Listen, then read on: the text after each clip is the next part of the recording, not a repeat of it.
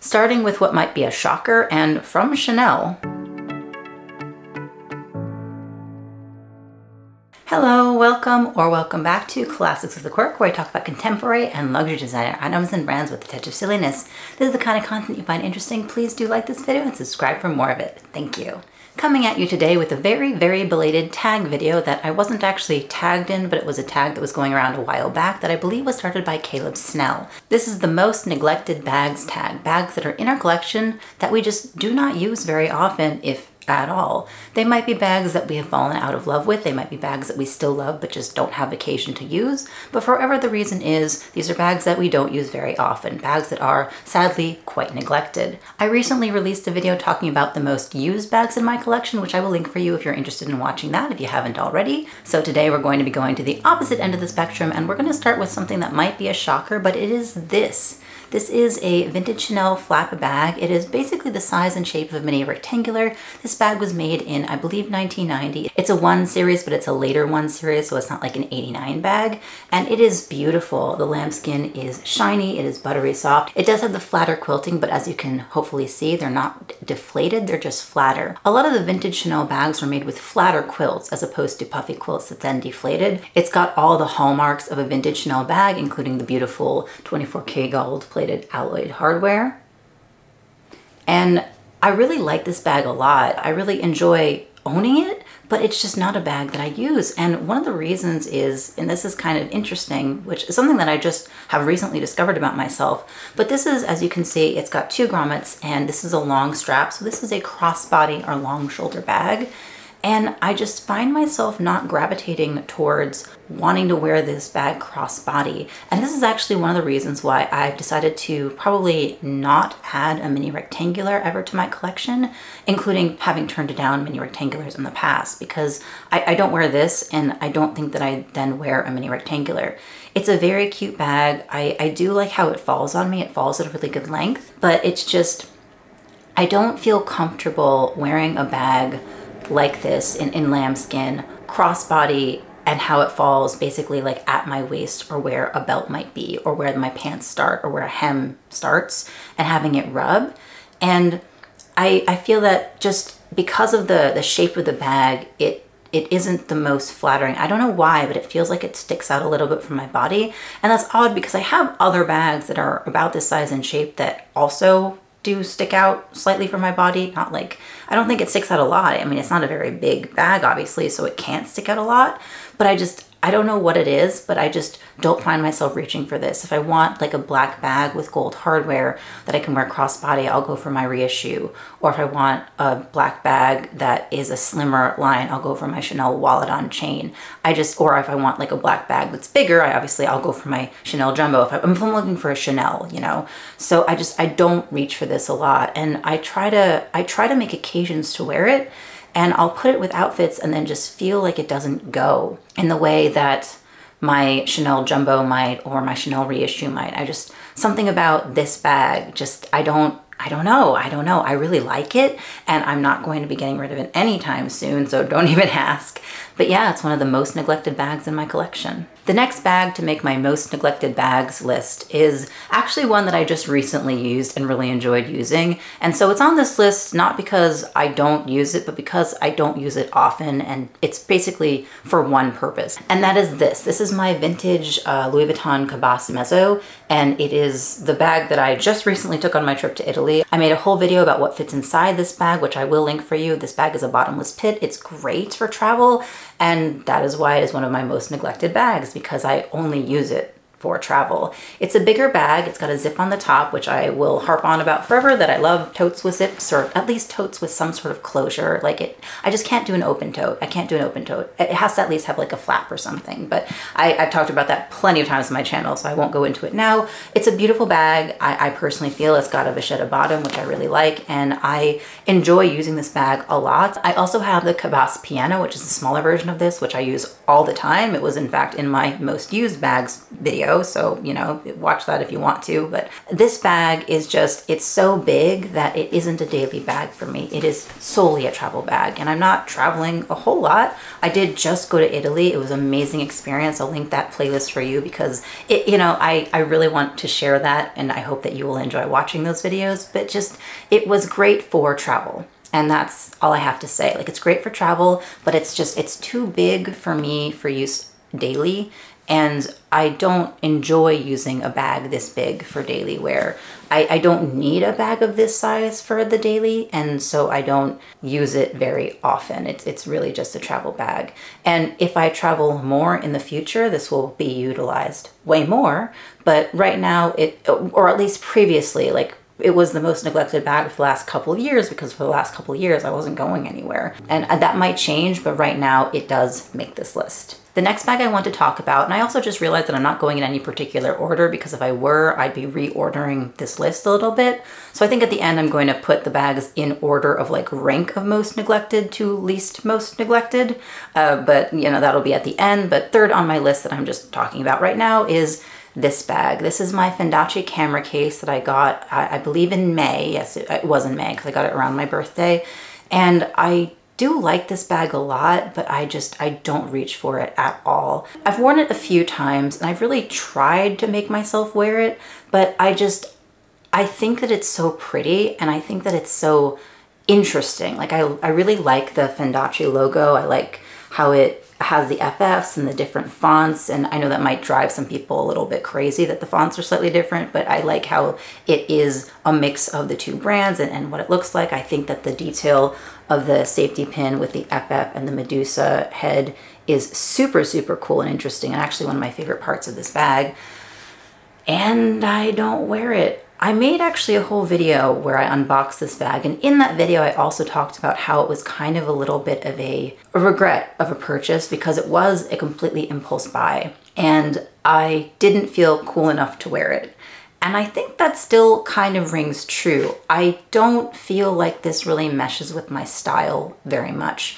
And I think it's partly because of the branding, like it's just got words on it and while I do wear a lot of street style, actually, I wear like a lot of hoodies, I wear a lot of zip ups, I wear a lot of like dressed down clothing that is a little bit more street style than like put together classic or, or whatever that might may mean.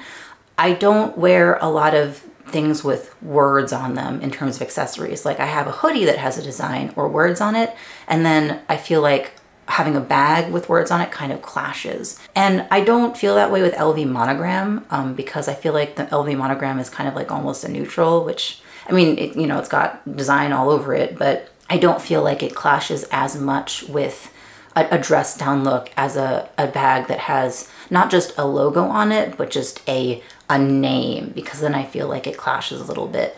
And I I don't know if that's just me or or what. I mean, obviously it's just me because I'm the one with the bag. I also find that if I want like a camera bag style, I'm reaching for my YSL Mini Lou. Or if I want like a smaller bag that's black, I'm usually reaching for like my reissue. And so I find that I have a few of the same issues that I have with my vintage Chanel that I just showed you in that I just don't gravitate to a bag black with gold of this size and shape because I have other bags that I tend to just reach for more. And I think that for this one specifically, it's because of the lettering, which is ironic because that's what I like about the bag. I like the branding. And so I, I don't know. I still have to figure out how to use this. I, I don't want to sell it. Um, first of all, it's it has very little value on the pre-love market just because it's such like a, a unique but not sought after piece. Like, you know, Versace and Fendi, neither of them hold great value on the pre-love market. And like this collab didn't do too well. Like some items did very, very well, but a lot of the items in the collab just weren't very popular. And I don't know why, because I thought it was a very cool collab, but mm, different people, different tastes. So with this, like selling it would kind of be silly. Like I, I could sell it, I would not make very much back. So I think I'd rather keep it at this point and just see if I can't use it at, in some way. But yeah, I, I just, I don't find myself reaching for it. I just, I still am kind of confused on how to style it. Like I feel like it could work well with this outfit, but I have other bags that I reach for instead that fit more or I think work better or I think just look nicer with my style. I don't know. I think it is cute. It's just something that I don't wear, so it is on the list of most neglected bags. And finally, the most neglected bag in my collection is one that is so neglected I actually don't have it anymore. And that is the beautiful Chanel Boy WOC that I had from 20A Métier d'Art of 2020. I've showed this bag on my channel a couple of times and I've mentioned a few times that it is a bag that I just don't use and that I've never used. I never used that WOC, not even once. I never used that bag. And so after having it for two years, eventually I decided, you know what? I've had it I've loved it. I've had it on my shelf. I've admired it, but I think it's time to let it go. And so I did. I put it up for consignment. I consigned it with the Luxe Theory and I, I got a price that I was happy with. It sold very, very quickly, which I was a little bit surprised about, but I guess I shouldn't have been surprised because it was a beautiful bag. It was a Chanel WOC and what I thought was a beautiful color. So I guess not surprised that it sold. And I hope that it's making the person who bought it very, very happy. I, I did love it. I, I loved it. I thought it was so beautiful but I just I didn't wear it at all. I I don't know why. I mean, I think I, I well, I think I do know why. I think it was a mix of several factors. First of all, it was metallic lambskin, so I was worried about damaging it. Uh, it was beautiful and soft and metallic, which I already have had a few issues with, and lambskin, so very, very delicate. And that particular lambskin also felt delicate to me. Just because of the metallic coating and the lambskin combination, it just felt like it wouldn't wear very well. And so it scared me in a way that none of my other bags ever have. And I just, I didn't find myself reaching for it. It also was so pretty, but so particularly pretty that I couldn't find an occasion to wear it like ever. It just it just didn't match with my wardrobe. I have other blue bags and I found that I just reached for the other blue bags more. It was a beautiful bag and it was actually I think a good size for its beauty. Like I felt that it was a small power package of beautiful but not like overwhelming. I feel like maybe if I'd had a bag in that color but in a bigger size, like a bigger boy, it would have been too much. I mean, it was too much even small because I, I obviously didn't wear it, but I, I feel that it was a really good size of bag for the, that colorway but I just, I didn't reach for it at all. I didn't reach for it at all. I do find generally that I reach for bigger bags over smaller bags. And I don't mean jumbo bags over smaller bags, just I'm more likely to reach for a medium sized bag over a mini bag. And I consider the Chanel Wallet on Chain a mini bag. I consider, you know, WOCs and clutches in general mini bags. And so if I have a mini bag versus a medium sized to small bag, I generally reach for the medium sized to small because I just like fitting a little bit extra. Like a WOC is a beautiful option and I wear my YSL clutch a lot too, but I just I just find that in general I prefer to carry a little bit more over having to completely minimize my stuff. And I actually also find that I can fit more in my Saint Laurent clutch than I can fit in my Chanel wallet on chain. So between the two I do often reach for the Saint Laurent clutch over the Chanel WOC just because I can fit a little bit more. So that's just that was a factor as well. So between not being able to fit a lot in it, how beautiful it was and how scared I was of using it. It just, it got so neglected, so neglected to the point that I didn't wear it at all. And you know what? I was happy owning it. I don't regret buying that bag. I do sort of regret buying my Fendace a little bit. This is a bag that I think that if I could do it over again, I wouldn't have made this purchase. But the Chanel WOC I, I'm glad I bought it. I'm glad I bought it. I'm glad I owned it. I'm glad that I got to experience owning it because I did for two years. I admired it for two years. I like played with it and looked at it on my shelf for two years and I was happy with that. And then it was time to move it along and so I did. In terms of ranking most neglected to least neglected, I think what I would have to say is that my Chanel on chain was obviously my most neglected because I didn't wear that like once. I didn't wear it at all. I think next on my most neglected list, number two, would have to be my Fendace camera case because honestly, I think I've worn this like maybe three or four times since May and that's not a whole lot. Usually when I get a bag, I really try to wear it like as often as possible because I'm so excited to have it and I really like utilizing it and it's fresh and new and, and fun. But this bag, I, I wore like two or three times and then I kind of put it away and just didn't reach for it again. So this would have to be number two most neglected. Number three most neglected, I think between my vintage Chanel and my Cabas Mezzo I might have to say that my vintage Chanel is number three in most neglected, just because between this and the Cabas Mezzo, I'm more likely to use the, the LV. I'm more likely to reach for at it because it is a useful travel bag, and obviously I, I just used it, so it's not as neglected as it was pre-Italy trip, but this bag I, I really don't reach for very often. I do like it. And I, I think I would like to going forward now that I've really sat down and thought about the fact that I don't use it very often I, I would like to use it more going forward. But it is hard to use it just because of how it falls on me and how it's there's only really kind of like crossbody or long shoulder to, to wear it. And I don't know I just I don't gravitate towards this one at all. So I think that this one have to be number three of most neglected because I certainly gravitate towards this and I've worn it more often than I've worn this but it's pretty close. It, it's pretty close. So I don't, I don't, I'm not happy about that. Like I don't like that I haven't worn this very often, but if I, if I want like a Chanel bag for like the day, I'm reaching for a jumbo and for the evening, I'm usually going for my reissue. So I don't know. Yeah, I just, I feel bad. I feel bad. I really like it. So I'm, I'm sad that I don't wear it as often.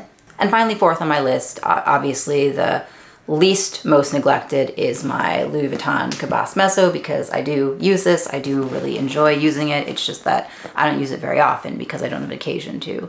That is hopefully going to be changing. Obviously, Italy trip I'm hoping is going to be heralding more travel in my future. Probably not this year, probably not uh, for the rest of 2022, but going into 2023, I do have several trips planned, so I'm, I'm very excited about that. I do hope to share those with you as well. So I do hope to utilize this a lot more in my future. It just had to be on this most neglected list because in the last two or three years it was. What about you? Do you have a bag in your collection that is the most neglected? I'd love for you to share in a comment down below. And if you do share, please tell me why it's the most neglected because I think that's one of the things that are so helpful in videos like this. It's sharing how come a bag is neglected. Like why don't you utilize it? Is it because it's not the right size or shape for you? The style doesn't work? Obviously for me, this style didn't work very well. And so I just, I would love to hear. Please do share in a comment down below. And I hope that you enjoyed this video. If you like liked it, please do give it a like. It super duper helps the algorithm and subscribe for more content that helps the algorithm even more. Thank you so much for watching and I'll see you next time.